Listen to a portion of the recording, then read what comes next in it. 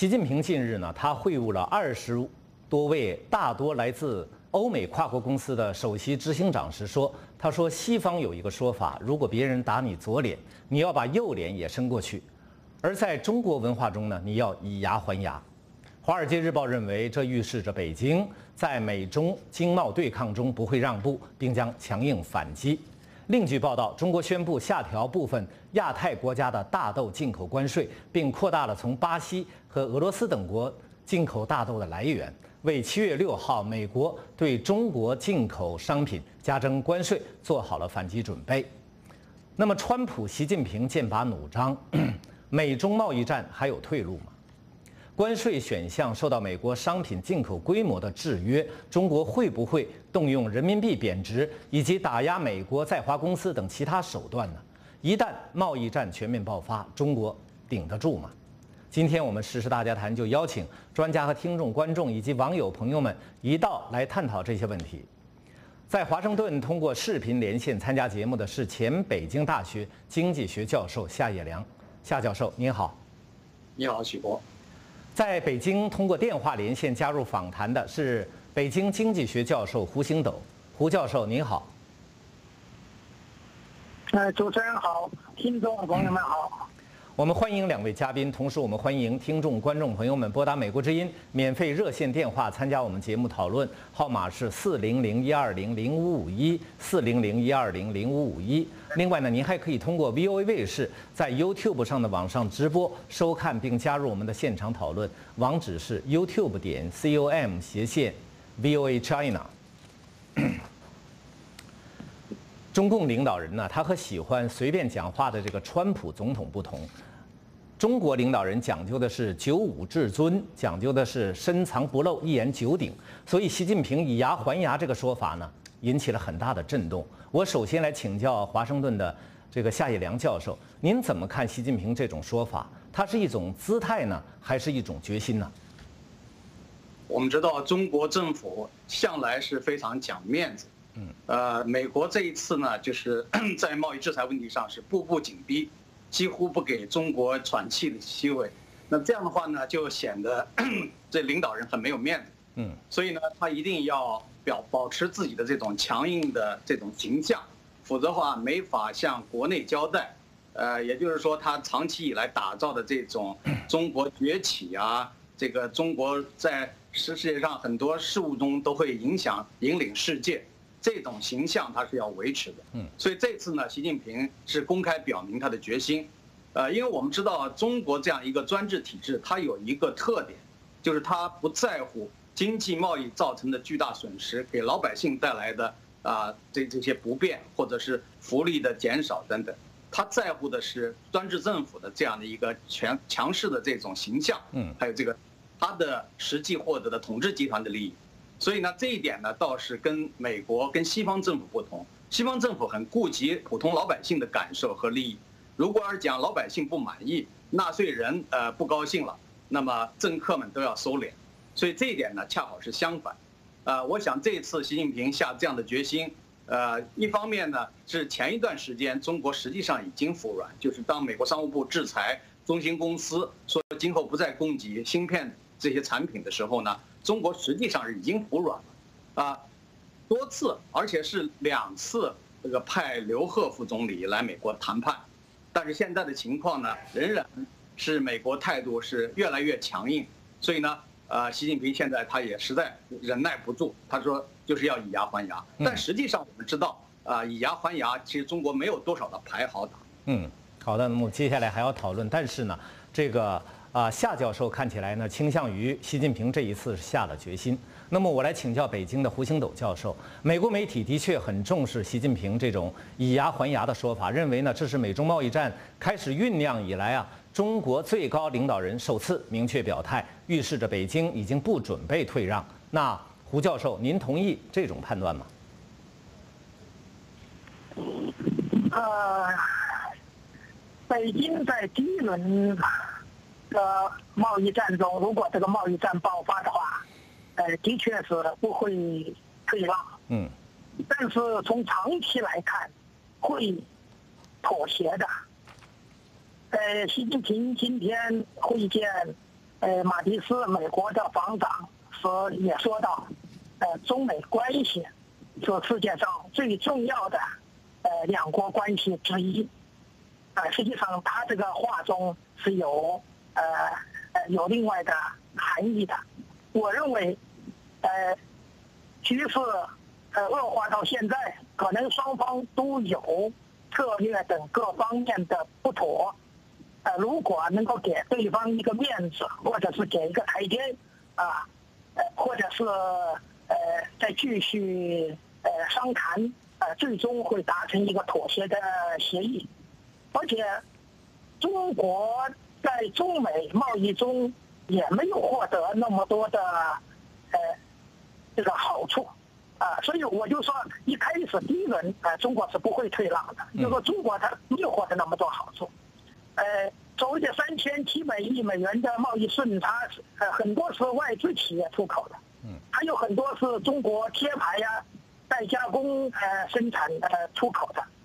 中国积累了三万多亿美元的外汇储备，呃，一万多亿美元就购买了美国的国债和企业债，而且中国在资源、环境、劳工权利等方面都付出了呃沉重的代价。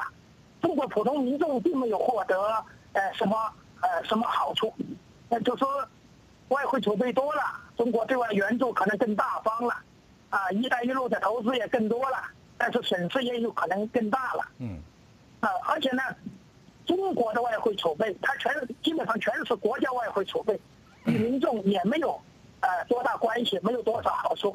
它不像这个日本外汇储备才一万多亿美元，但是它民间有三万多亿美元，呃，所以。这种像日本那样的民间的外汇，呃，这日本的那种总总的外汇，实际上比中国还要多。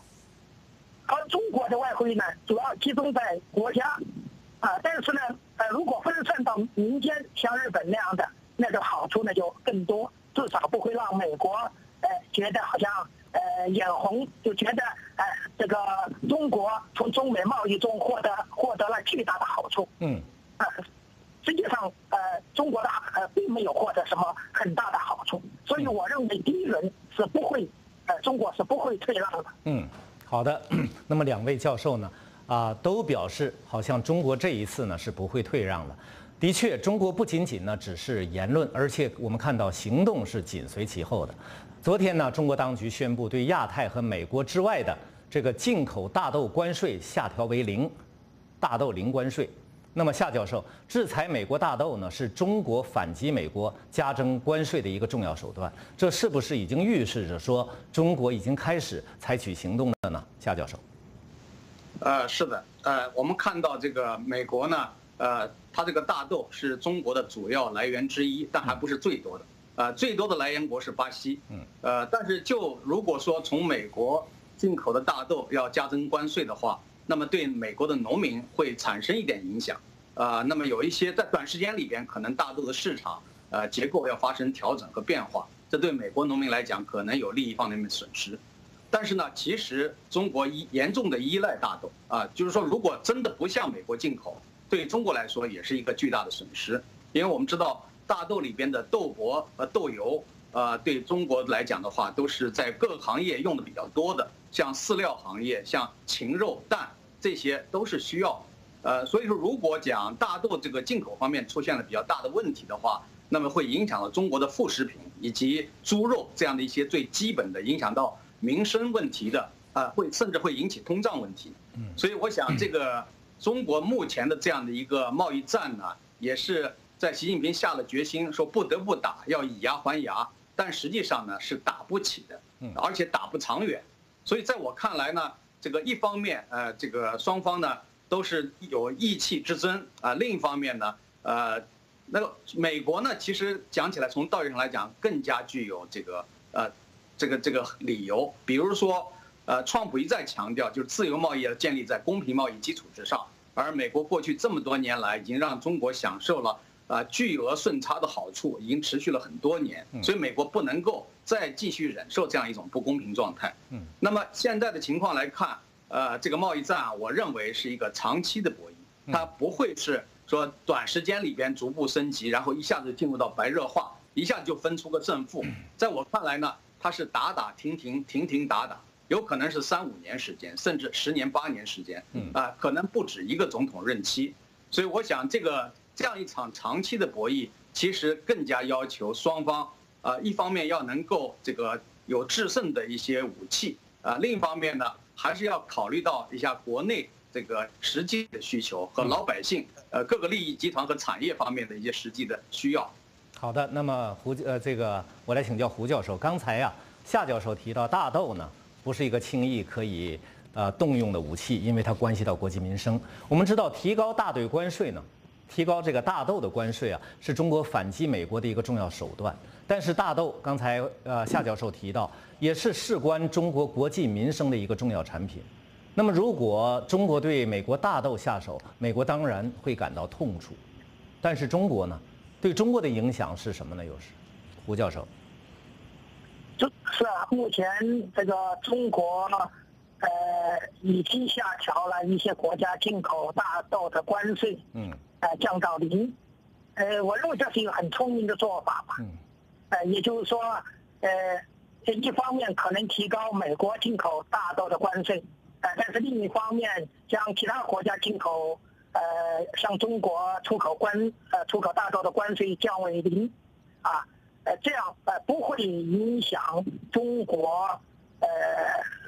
中国国民呃对大豆的消费和相关产品的呃消消费，嗯，呃而且呢，呃不仅是大豆，啊这次中美贸易战如果把它称为贸易战的话，啊它还促进整个中国呃普遍的降低呃关税，从某个意义上来说，中美贸易战给中国民众啊带来了福利，呃比如中国呃。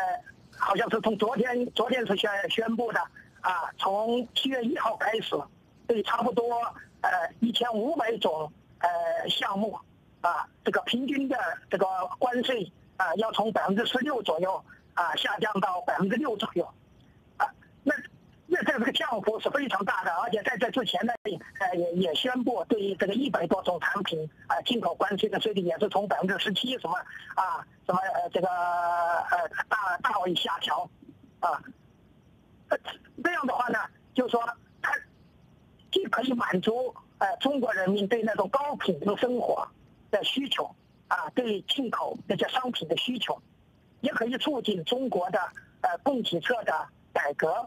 也就是说，降低了关税以后，呃，国内的啊企业啊就不再受那种高关税的呃保护，嗯啊，这样有助于提高呃这个企业的这个竞争力。而美国目前的这个平均的这个关税只有百分之一点六左右，嗯啊，中国的关税从刚才的数据来看，呃，大概在百分之十六左右。也就是说，美国的关税只有中国关税的百这个十分之一。所以，这个这次中美贸易战促进了，反而促进了中国。呃，大大大的下调关税，嗯，因为过去中国关税太高啊，的确，呃，呃，造成了呃这个市场的扭曲，啊，资源配置的错位，啊，市场经济呃的呃不良呃这个不良的这个发展，呃，导致了效率的下降，嗯，导致企业没有竞争力，导致消费者呃这个剩余的减少，啊，所以。呃，中国借着这一次中美贸易战下调啊关税啊，提高企业的这个竞争力，嗯啊，它促进了国内呃的进口，啊，对普通民众啊反而是带来了福利，带来了好处。好的，现在呢，我们有大量的网评进来了，我先给大家读一下呢，我们一些网评啊，回应刚才两位教授的这个说法啊，然后我们接电话，我们把我们听众观众朋友们也接到我们的节目中来。首先是我们这位网友叫刘汉，他说啊，中美贸易战是应该打一打，才知道会发生什么。习近平让打，民粹说也要打几回合。如果能够打到美国率先扛不住，就赚大发了；如果中国大陆率先扛不住，自然也就全面开放了。这对大陆来说也不是什么坏事。刚才胡教授也有这种想法。埃德温陈他说，贸易战的退路有两种，第一种是美国退让。任由贸易逆差继续扩大，任由美国政府债务无限扩大，任由美国普通人的债务继续扩大，直到美国年轻人被利息压垮，彻底啊，诅咒美国资本家拒不还债；第二种呢是中共退让，放弃中国制造二零二五，放弃国企垄断，放弃主要的维稳经费来源，改变中国统治模式。美中贸易战不仅是经济问题，而且也是政治问题。啊，Chucky Manami，Chucky Manami 这位网友说：“以牙还牙，习近平还真不虚。”声波袭击在华美国人，以安全审查为由终止美国企业在中国的运营，以检查为由让美国货出不了仓库，过保质期，大不了去扎美国大使汽车轮胎，贸易差不多，贸易差不多是问题，围地。伟帝这位网友说：“中共的成立呢，就是靠物质和利益来贿赂人心，形成团队的。所以，从中共的核心人员到中共发展起来的官场制度，无一不是通过贪腐来维持中共团体的团结。因此，当中共在国际肆意扩张政治权力的时候，每一个民主国家的政府都会被中共的贿赂式结交腐蚀。美国就是看到了这一点，才坚决要跟中共对抗到底的。下面我们来接电话。”啊，首先呢是天津的艾先生，天津艾先生你好。呃，您好，我讲一下，就是这个美中贸易主要就是美国的竞争力不够。你看，美国如果从竞争，比如彩电、冰箱这些家电的这家电类的产品，美国就不是对手。嗯。如果在汽车方面，美国是德国和日本甚至韩国汽车的。汽车的对手吗？美国根本没有竞争力，所以积累了这么大的贸易逆差，并不是是什么政治问题。如果像夏业连先生说的，呃，那么川普总统总总总是说，呃，美国优先，反对政治正确，支持六四，那给了你们这些专家的脸了吗？好的。谢谢天津的艾先生，下一位是河北的李先生。河北的李先生，李先生你好。河北李先生你好。嗯，我觉得我我我觉得这个中美的贸易战都是每个国家都在争取自己国家的利益，嗯，最大化，也并不是说，呃，那个美国就多么高尚，中国就多么无耻，嗯。那中国中国以前是有不遵守贸易规则的行为，但是作为一个后发性现代化国家。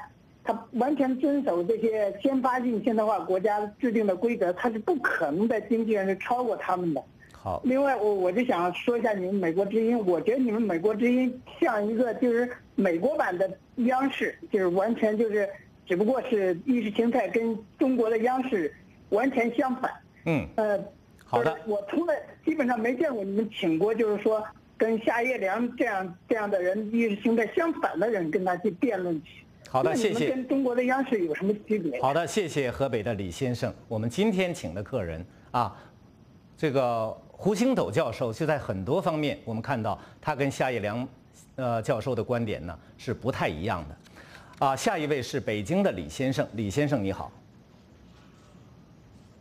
呃，进行采纳我这个人民币贬值的建议啊，已经扭转了贸易战被动挨打的趋势吧。如果七月六号美国对中国征收关税的话，中国会针对这个美国大型的高科技企业的芯片和药品啊，展开无限制的仿制和倾销啊，彻底打垮美国的高科技产业，这才是中国制造二零二五的必由之路吧？好的，谢谢北京的李先生。我相信最后顶不住的肯定是美国。嗯，谢谢李先生。最后是天津的王先生，王先生你好。我觉得啊，美国这个贸易战就是。当你有一个强大的雏形出来的时候，人家就就会想要掐死你，让你死在这摇篮之中，扼杀你。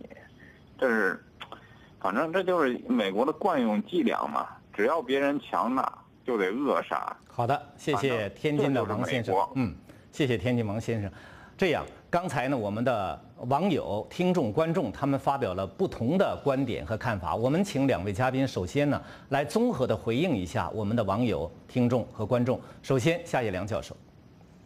呃，我觉得有意思的一个现象就是，美国之音虽然刚才有些人只一直批评美国之音是美国的央视，可是既然中国有央视，呃，也有人民日报、新华社，呃，像有些职业五毛，他为什么？像夜夜值班一样，那每次都非得到这儿来打电话呢？你看天津的艾先生是非常固定的职业五毛，呃，所以呢，我就觉得这个现象非常有意思。嗯，呃，说如果说觉得我这样人的观点是怎么样怎么样，那你们的观点不是从来也没有变化吗？是吧？所以各有自己的观点和立场，这个不奇怪。对啊，奇怪的是只有一种声音。好的，那么我们美国之音实际遵循的就是这样一种多样化。我们在我们这个节目上，只要你认真，只要你呢认真参加我们的节目，认真的讨论来评论，什么样的观点我们都欢迎。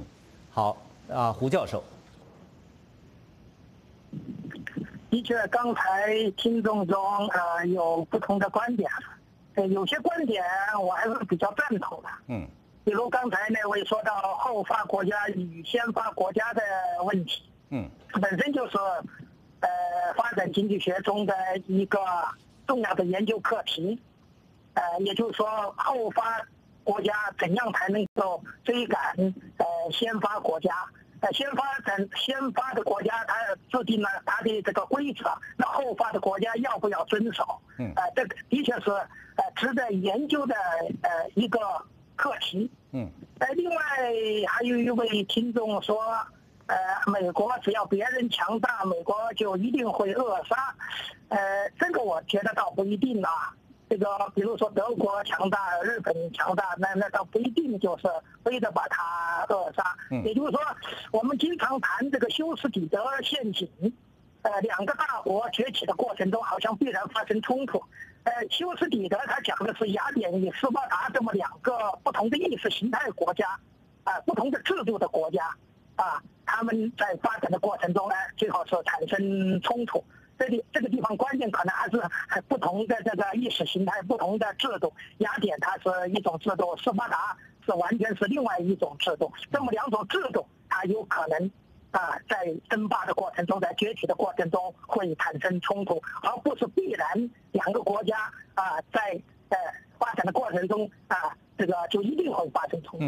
好的，那么现在下面我们接着我们的问题来讨论。我们两位嘉宾呢，在接下来的讨论过程中呢，也会逐步的来回应我们刚才听众、观众和网友们提出的这个问题和发表的评论。现在距离美国点燃贸易战的这个时间呢，仅剩下不到十天了。有人仍然期待着双方能够通过谈判来解决问题。说近日美国有媒体透露呢，说川普政府已经邀请王岐山前来美国谈判了。那么请教夏教授，您认为有这种可能吗？我觉得这种可能性存在，但是呢，没有多大的作用，因为这个刘鹤来过两次。嗯。呃，现在的情况呢，就是习近平已经发话了。那么在这种情况下，即便不要说这个呃王岐山来，就是习近平本人来，也未必能够会取得非常满意的成果。嗯。所以这个情况呢，就是肯定是双方要交一轮手，交手之后才知道轻重。啊，后面才知道该出什么样的牌，所以我不并不看好说谁来就能把这个问题给调节好。呃，当然呢，你说这个私下里服软，提出一些新的有诱惑力的条件，让美国罢手，这个可能性对于中方来说当然是存在的。但是美国愿不愿意接受一些私下提出的条件，就就此不打这个贸易战了呢？我想不会，因为如果会的话，前两轮就应该出现这样的一个情况，但是其实并没有。好的，我来请教胡教授，您认为王岐山他能力挽狂澜吗？这个刘鹤刚才呃夏教授指出这个问题了，刘鹤解决不了的问题，王岐山就能解决吗？呃，王岐山这个副主席，他跟美国的政界、商界，呃，有很多私人关系。嗯。但是，呃，在国家问题上。呃，个人的友谊他是靠不住的。呃，这个川普也不断的说他与呃习主席啊非常友好的个人关系，啊，但是国家之间只有永恒的利益，呃，没有永恒的友谊。不过呢，呃，王岐山副主席呢，他是一个改革人物，呃，八十年代那个时候风靡全国的走向未来丛书。啊，他是他是编委是吧，啊，他应当可以更多的运用他的智慧和权力，呃，来促进中国深化改革，从根源上化解中美矛盾。在这方面，我觉得他倒是可以多做工工作。也就是说，中美矛盾它的根源是什么？它的根源可能其实还是不同制度的矛盾，啊，不同模式的矛盾。呃，中国模式它是政府控制型的经济，啊，西方的模式它是呃自由市场经济，啊，这两种呃经济模式之间的呃矛盾，如果这种模式的矛盾不解决，啊，中美之间那就不仅是贸易战，那很有可能走向新的冷战，嗯。甚至走向新的热战，嗯，那就是军事冲突，啊，都很有可能。好的，现在所以我觉得王岐山副主席应当在呃在促进中国改革这方面，啊、在对中国模式进行呃改革改造方面可以发挥作用。好的，那么现在呢，大量网友回应 我们两位嘉宾，我给大家选读一下。傅正辉，他说，习主席强调，在美中贸易战上，中国将以牙还牙，这是对等相报的意思。中国不是日本，承受力和反击力都很大，而且在竞争对手的角度上，绝不可能退缩。川普总统可能大大低估了中国的决心，更无法以增税意图呢达成贸易战的目标。Dave New Yang 这位网友说，他说美国大量的大豆产量都是对中国市场的，专门为中国种的。不过受贸易影响，美国农民不种大豆，美国农民不种大豆，种蔬菜了。但是中国的大豆缺口还在那里，受苦的还是中国的老百姓。阿瓜豆 D 这位网友说，他说共产党如果一直秉承要偷窃、剽窃、盗窃美国技术而不改变的话，我支持美国对共匪的任何打击。玉玺，他说贸易战中共在一开始就没有退路，贸易战要求共产党遵守 WTO 的规则啊承诺，遵守国际贸易秩序，换言之就是要求共产党国家呢资本。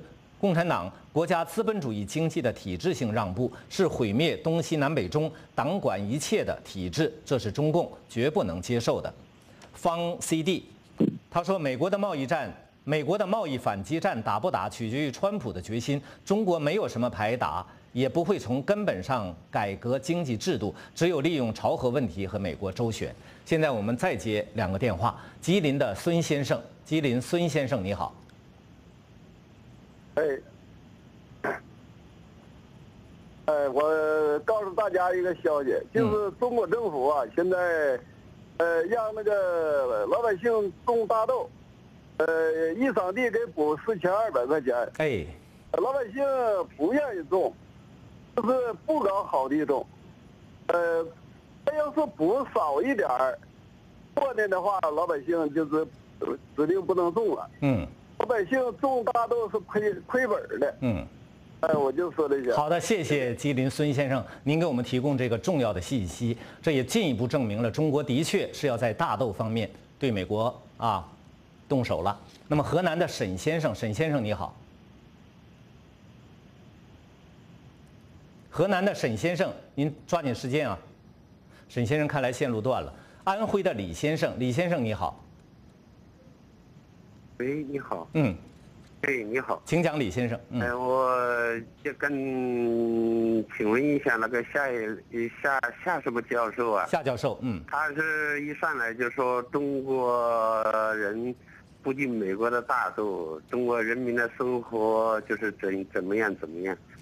他是什么接那个经济教授啊？是中国足球教练教出来的教授好的，谢谢您，安徽的李先生。难道他遇到什么事，他都是逢中必反呢？谢谢李先生。嗯，好的，我们呢讨论问题可以，但是不要做人身攻击啊。我们继续接着我们的这个问题啊，这个讨论。如果说这个贸易战呢，这个真正打起来的话，哈。啊，美国可以一再扩大呢对中国进口产品加征这个关税的这个规模，可是中国呢，因为关税选项受到美国进口规模的这个制约呢，就好像会受到限制。所以我请教夏教授，有人说呢，和美国比起来，中国手里的弹药好像并不那么多。夏教授，您怎么看这个问题？对，这个是从贸易规模的 进出口的这个角度来讲，就是说，呃，美国。呃，向中国进口的数量非常大，五千多亿美元，而中国向美国进口呢，只有这个两千多亿美元。所以呢，呃，一旦这个制裁的这个办法用完了之后，啊，这似乎对美国就没有办法了。其实不然，啊，其实我们知道美国在华有很多的企业，另外呢，呃，中国本来承诺要向美国开放很多的市场，包括金融市场、电讯市场，呃，能源各个方面。那么如果要是讲中国在这个方面采取报复，啊。还有呢，在这个技术贸易啊，尤其是知识产权保护方面，如果中国政府采取一些报复措施，呃，那是完全有可能。呃，也就是说，呃，不一定非要在这个直接的商品进出口方面，啊，通过关税这一种方式来获得这样一个报复的途径。我们知道还有非关税壁垒，还有一些其他的这个有关呃投资和合作方面的一些经济方面的领域，所以这一方面完全可以大做文章。好，我来请教胡教授啊。有人说呢，啊，除了关税手段以外，中国手里应该还有其他的这个武器。刚才夏教授也提到这个问题，那您呢？您怎么看这个问题啊，胡教授？我倒是基本同意夏教授的看法。嗯。中国的手段呢是很多的。嗯。不只是关税，呃，还包括给其他的国家的呃进口商品。呃，大幅度降税，就是我们刚才所说的，啊，这个方便其他国家的商品在中国的销售，呃，包括呃，中国前一段时间呃宣布对金融保险等等市场开放，啊，更大幅度的开放，啊，那中国那他也可以宣布美国除外，呃，那那也那也有可能。嗯。啊，在投资合作等领域都有可能，包括呃，也可能采用人民币贬值的这样的一个办法。好的，那么关于包括抛售美国的这个国债，嗯。啊，呃，甚至还包括在朝鲜、伊朗、这个叙利亚等问题上，中国不配合美国的，那那都有啊，各种手段。嗯，看来中国呢手里的武器。或者说弹药也不少。那么我们现在有许多听啊网友来回应我们两位专家的这种看法啊，一位叫方黑蟒，方黑蟒这位网友他说以牙还牙呀，也要看有没有牙可还，啊贸易差额摆在那里，只用关税根本就没有任何办法。但是中共这样的政权只会无所不用其极，什么手段都可以使用出来。至于是否会妥协，那是一定的，只不过。啊，只不过不会承认而已。啊，一位叫方吴这位网友说啊，他说在美中贸易战中，尽管习近平不自量力要以牙还牙，但手里并没有多少贸易战的常规武器。啊，弹药是严重不足，但是他一定会用超限战的流氓武器，多年来屡试不爽。比如像砸日系车呀、抵制乐天等等。虽然群体杀伤力不大，但对单个目标还是能够致命的。在华美啊，在华美企应该有充分的思想准备。我们现在就提人民币这个问题吧。中国最近我们看到这个人民币呢，啊是在剧烈的这个下降。啊，我们看到走低的这个程度很是很大的。到二十七号上午为止，离岸人民币汇率已经连跌了十天，连跌了十天。离岸和在岸人民币对美元的汇价呢，双双跌破了六点六零大关。我来请教夏教授，您觉得这是正常的还是反常的？呃，基本上大的态势是正常的，因为我们知道人民币中长期的趋势就是贬值。呃，在前一段时期啊，就是前两年的时候，曾经出现过破七，但是非常短暂。那么后来呢，呃，人民币升值一段时间，那是由于中国宣布了一些这个对外开放的措施，呃，就是说要呃兑现 WTO 当时所做出的一些承诺，呃，还有一些其他的因素。那么现在再加上还有一点呢，就是央呃。中央这个货币当局呢，是可以动用外汇储备进行干预。嗯，那么现在的情况呢，就是当中国的实体经济已经不在这个景气的情况下，呃，中国的固定资产投资规模、消费的这个比例以及各个方面的情况都发生了比较大的逆转。在这种情况下呢，人民币本币贬值是一个比较确定的趋势。所以呢，我倒不认为官方是刻意的。呃，大幅度的降低，呃，或者贬值，啊，那我们知道有一些人会说，呃，人民币贬值有利于中国的出口，那么这个在贸易关系正常的情况下，这是有可能发生一定的作用。但是呢，现在在双方打贸易战的情况下，啊，这个关税惩罚和非关税的壁垒以及其他的措施都用上的情况下，呃，仅仅让本币贬值，并不能直接帮助这个明显的改善出口状况。嗯，那么我来请教胡教授，您认为人民币连续十连跌，啊，这种现象与美中贸易战或者贸易争端有没有什么必然联系呢？呃，既有联系又没有联系。嗯。呃，说它没有联系，是因为中国经济，呃，最近表现疲弱，呃，实体企业、呃，实体经济不断的下滑。的确，从呃呃，从这个前面所公布的国家统计局的各种数据来看，呃，无论是这个基础建设各方面的投资啊。呃，还是民众的消费，特别是民众的消费也是大幅度下滑。嗯。呃，还有出口啊，这个的增长都啊都下降，所以从这个经济的基本面来说，呃，决定了呃人民币呃它还是呃还是会这个继续贬值。呃，但是另一方面，呃，至少中国政府它没有干预人民币贬值。嗯。啊，因因为人民币。这个贬值大幅贬值，它的确它能够促进出口，它能够呃增加外国家外汇储备，或者至少是保呃不减少，啊但是这样呢，呃人人民币的大幅贬值可能使得民民众手中的这个资金的价值啊大幅度呃缩水，啊通货膨胀。呃，的可能性就越来越重，所以从这方面来说，也许呃人民币如果过度的贬值，呃，可能又是风险呃很大的。嗯。啊。好。目前呢，从国家来看，国家层面啊，人民币这种贬值，我觉得它的损失不大。我刚才说了啊，贬值了以后，可能其实还是能够说促进出口。嗯。啊，这个外汇储备不一定会减少，从国家层面损失不太大，但是民众。